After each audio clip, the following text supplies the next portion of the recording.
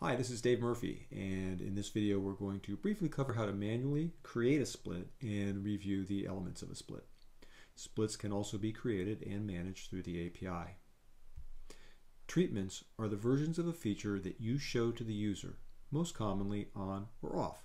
In other words, some users see the new feature and some don't. Treatments can be multivariate and descriptive. For example, instead of on and off, your treatments might be new, existing, and legacy. Users who are in the population of a rollout or experiment, but not specifically targeted, will get the default rule, shown here as 50% get the feature and 50% don't. Users who are not in the population of a rollout or experiment, say you're only including 10% of your overall users to start, will get the default treatment. Finally, the control treatment is a reserved treatment in split and is the failsafe if the SDK doesn't know what to do. For example, if an engineer puts a split in code before it's been defined in the console, or there's a problem with the SDK or network, the user will get control, preventing technical issues from disrupting your app.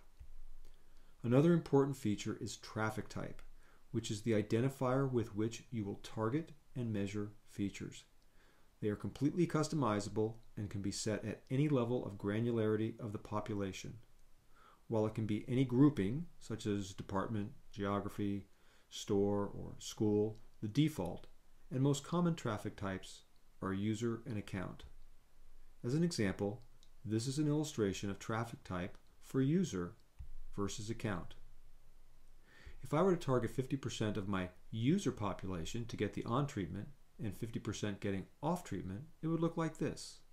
Commonly, more granular types, such as user, are for highly distributed populations or populations that may not roll up into logical groupings.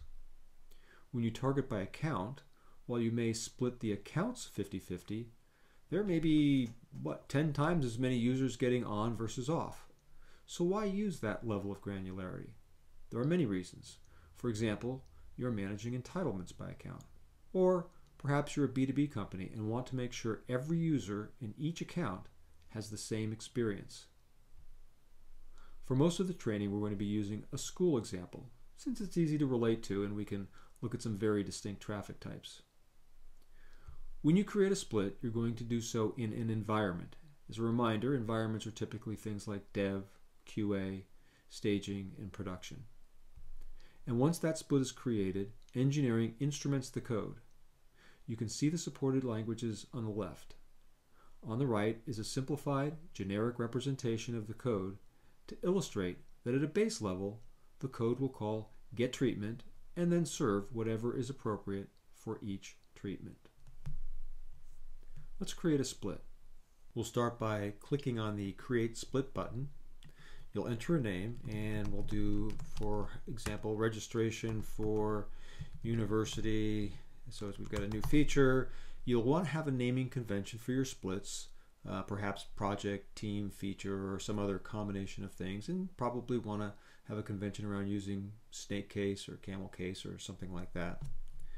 We'll go in and choose a traffic type. In this case, we'll choose students.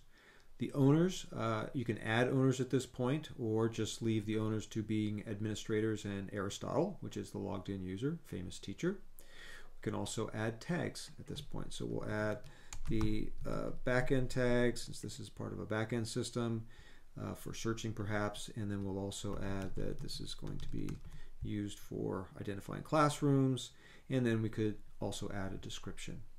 Now that we've got the metadata for the split in place, we click on create and it creates a split for us. We're in the staging environment. There's nothing set up in terms of targeting rules yet. So the next thing we would do is add our rules. A couple things to point out. One is that the split name and the traffic type cannot be changed. So if something needs to be changed, whether the name or the traffic type, you'll need to create a new split.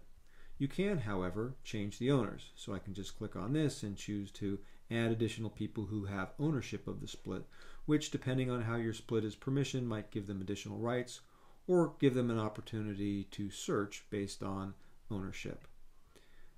Then there's also tags, which also could be changed. You can remove some tags if it didn't make sense that this wasn't really a back end, We can remove that, or we could potentially add another tag that uh, says that this is a search for universities only.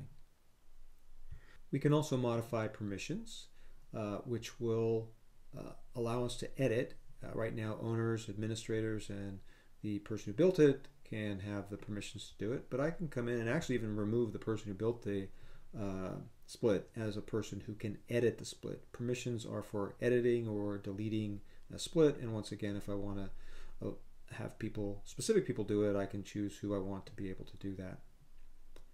Uh, if you want to find a specific split, you can look only for those that are owned by me or starred by me. Starred by me tells you the ones that you're most interested in, and owned by me will tell you those that you either own directly or you are a member of a group that owns that split. And of course, you could search for splits as well.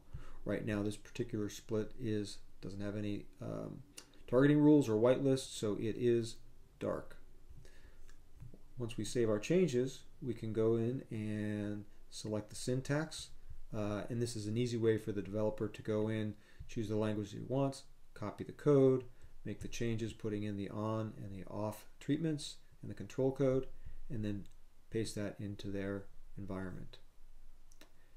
You can go to help.split.io where you'll find more information along with links to documentation and our community.